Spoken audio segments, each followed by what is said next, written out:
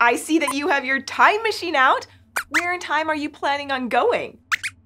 Oh, that's so sweet. Squeak says he wants to travel back in time to all the funnest days he's had with me and Mr. Brown, playing, exploring, and learning. Hmm, but the machine is still set up to take you back to Earth's early history, huh? That is a problem. Squeaks, how about this? I'll help you think of some of our favorite days. We can add them to the time machine, and then you can visit them whenever you want. Ready? Hmm, Okay, I have a great one. Do you remember when we learned about the blobfish? It was a long time ago, wasn't it? Let's check out that episode to refresh our memories, and we can work on adding it to the time machine in the meantime.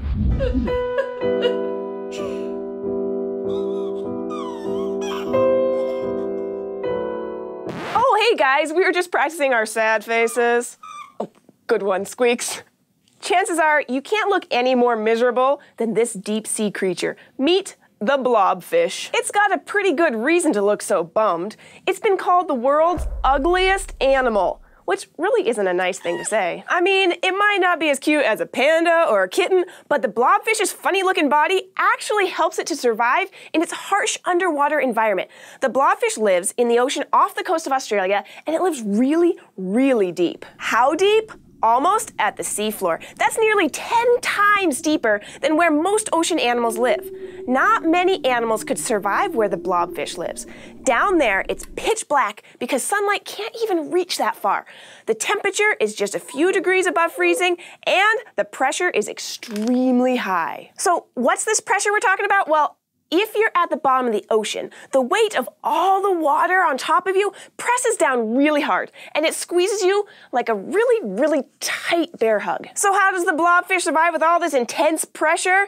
Well, that's where its ugliness is actually a plus. The blobfish has a gooey, jelly-like body that can handle the squeezing from all of that underwater pressure. In fact, it has almost no muscle and very few bones. It's almost pure squish. But it's still able to do things like move and eat because its blobbiness makes it buoyant. And this means it can just float comfortably right above the ocean floor without having to use too much energy to swim.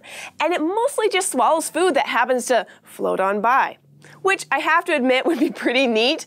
Could you imagine cheeseburgers just floating into your mouth? So the blobfish is blobby for a lot of good reasons. And to its underwater friends, it probably doesn't look so ugly at all. Scientists actually think that when it's at home on the ocean floor, the blobfish probably looks a lot more like other fish that we know. And that's because the pressure at the bottom of the ocean squeezes its body into that shape.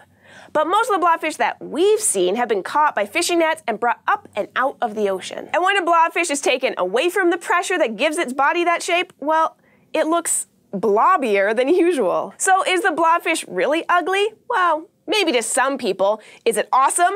Definitely. All right, I've got the blobfish time travel setting all ready to go. We'll just stick it on here. And now we can visit that day whenever we want. Do you have any ideas, Squeaks? Ooh, Squeak says one of his favorite days was when Mr. Brown taught him how to make a compass. I wasn't there that day, but it sounds super cool. Will you show me? Awesome! Let's check it out and make the next time travel setting. Oh, hi everyone. Squeaks is supposed to meet me here in the lab, but he's not here yet. I wonder what's taking him so long. I'm super excited to see him because he promised he'd show me his new magnet. Oh, there you are, Squeaks. Is everything okay? Oh, I see. Squeaks was trying out his new magnet by the river, and the path there is really long and windy, so it took him a while to find his way back to the fort. Hmm. The river is directly south of here. If only you had had a compass, then you could have taken a shortcut. A compass, it's a tool that can tell you what direction you're going. And if you know what direction you're going, you can find your way around without getting lost. People have been using compasses for thousands of years to explore the world. They can be big or small, fancy or plain, but they have an important thing in common. They have some kind of arrow or needle that points north. So if we had a compass right now, its needle would point this way. Because that's north. In fact, we can use your magnet to make your own compass right here at the fort. What do you say, Squeaks? All right, let's do it. You can make a compass too.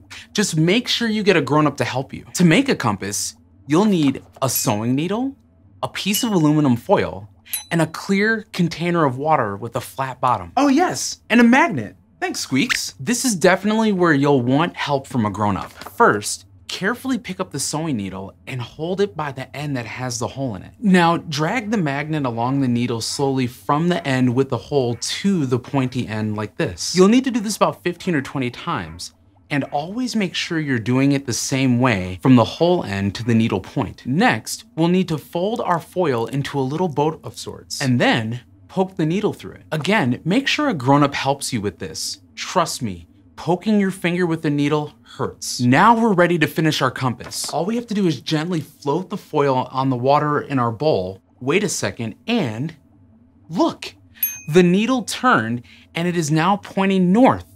We did it. Good question, Squeaks.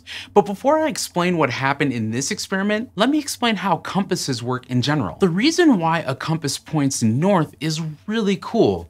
It's because the pointy part inside is a magnet, and magnets have two ends called poles. One end of the magnet is called the North Pole, and the other is called the South Pole no matter which direction they're facing. And opposite poles of two different magnets attract that means they pull on each other. Meanwhile, similar poles repel each other.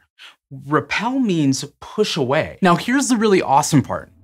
Our planet Earth is basically one huge magnet. So it also has magnetic poles. That means the Earth's poles act the same way that a magnet's poles do. They attract and repel the poles of other magnets. And they just so happen to line up pretty well with the parts of the planet we call the North and South Pole.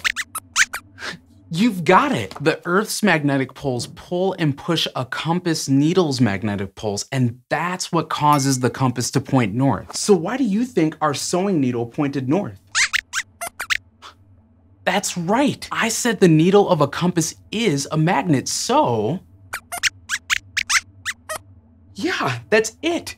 Our sewing needle became a magnet. That first step we did, where we rubbed the needle with your magnet, actually magnetized the sewing needle. In other words, it turned it into a magnet. The pointy end became the north pole of a magnet, and the other end became the south pole. You know, Squeaks, you're absolutely right. It seems like the North Pole of the Earth should repel the North Pole of our compass needle. But here's the weird thing.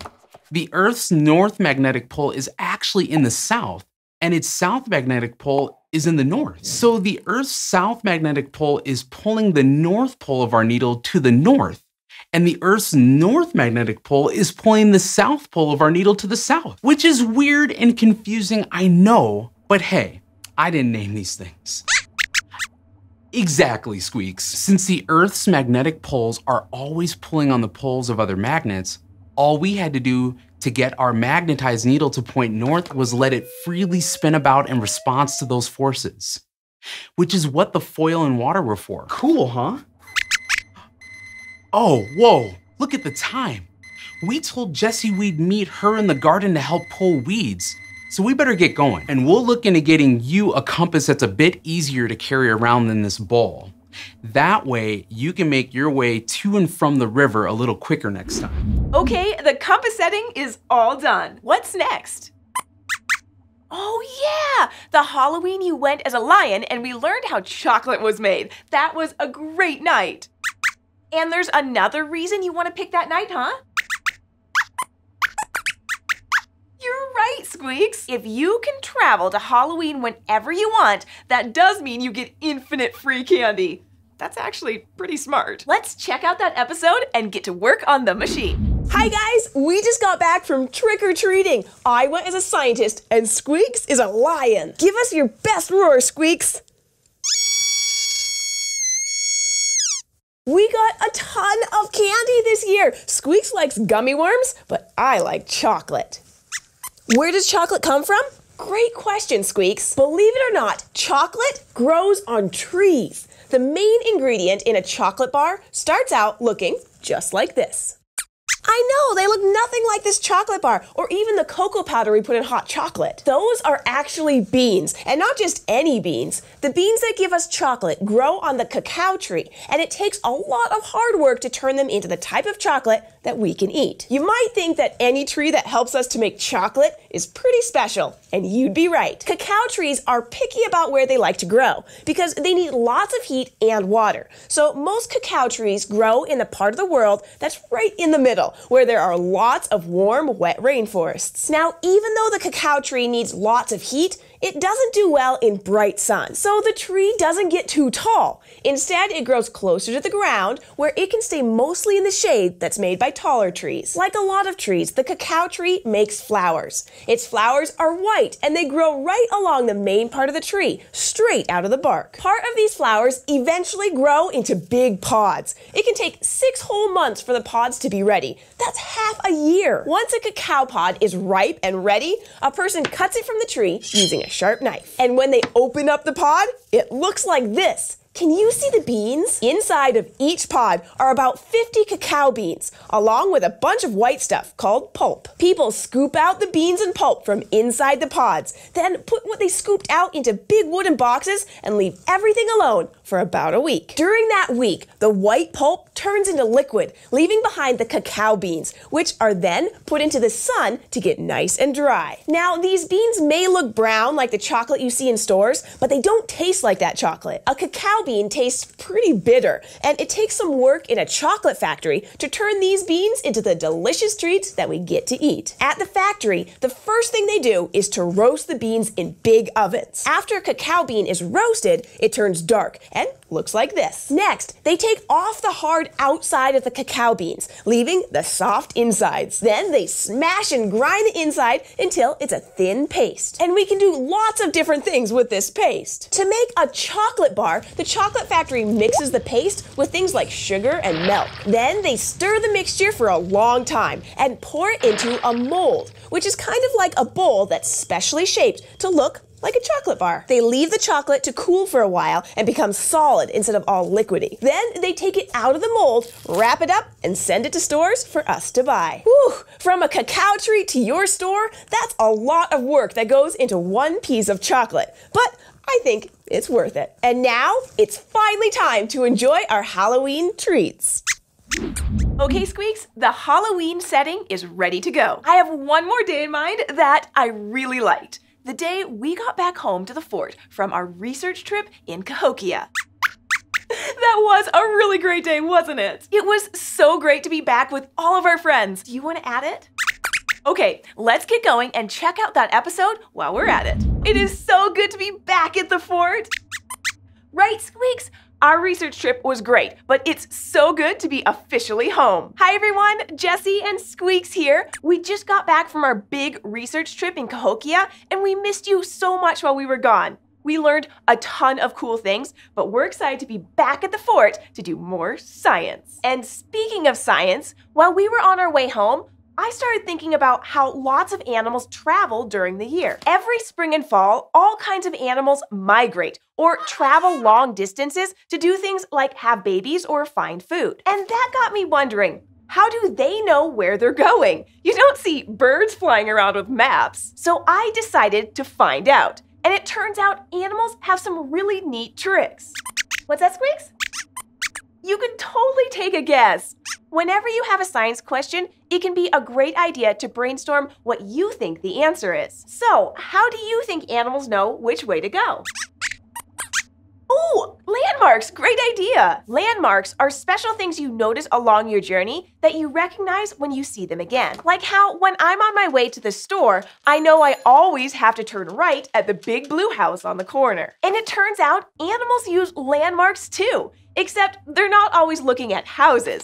They might use bushes or logs or bigger things like forests or mountains. When they see a mountain that's familiar, they know they're going the right way. Except well, here's a question. What if there aren't any good landmarks? Like some animals fly or swim in the ocean, which is just a bunch of water. So, how do they know where to go? Squeaks, any ideas? Eh, that's okay. It's a tricky one. When there aren't good landmarks, some animals that are awake at night, like certain seals and birds, use the stars for directions. They look for things like patterns in the stars, and when they find the right pattern, they know that walking, swimming, or flying toward those stars will take them where they need to go. Isn't that so cool? Sometimes when you chase your curiosity and try to find answers to the things you wonder about, you end up learning something amazing that you never could have guessed. So, some animals use landmarks and some use stars. But other animals, like certain birds and bees, can do something extra cool, something people can't do. They have an internal compass. You might have used a compass if you've ever been on a hiking trip. They have a little needle in them that always points north, so they can tell you which direction you're going. Birds and bees have a compass like this inside them. We're still learning how it works, but these animals can tell which way is north all by themselves. So when it's time to move, they know which way they're facing. Man, I wish I had an internal compass. That would have made getting back to the fort so much easier. But that's okay, Squeaks and I had a map, and we know which landmarks to look out for on the way, so we didn't get lost. Too many times. I'm so glad we decided to explore how animals get home, though. They do it so many ways, and it really makes me think about how different and interesting each kind of animal is. Okay, Squeaks, I think your time machine is ready to go. Oh, what's wrong, buddy? You wish your time machine was real so you could actually go back to your favorite days?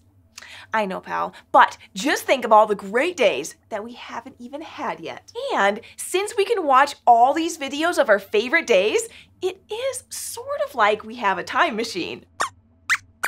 Ah, I'm so glad that cheered you up. Squeaks? Squeaks, where'd you go? Oh, there you are. What on earth happened? Squeaks, is that another you? And another you? Squeaks, where did you go? well, I guess we have some things to figure out. So we better go. Thanks for joining us today. If you want to keep learning, exploring, and having fun with Squeaks, Squeaks, Squeaks, and me and all of our other friends, be sure to hit the subscribe button, and we'll see you next time on SciShow Kids.